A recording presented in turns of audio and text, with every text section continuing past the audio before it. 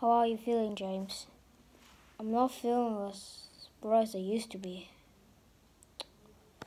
What about my overhaul, sir? James, your overhaul will take 9 months and 12 days. Take 12 days. 12 days? Well, I was just kidding.